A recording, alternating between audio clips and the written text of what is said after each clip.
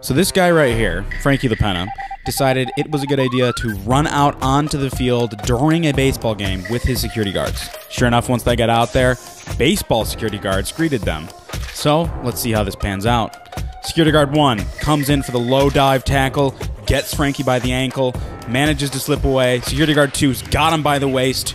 Frankie manages to somehow escape that as well. Security guard three, flying out of nowhere, gets him by the waist again, and Frankie's about to get away, but no. Security guard four's got him. It's game over.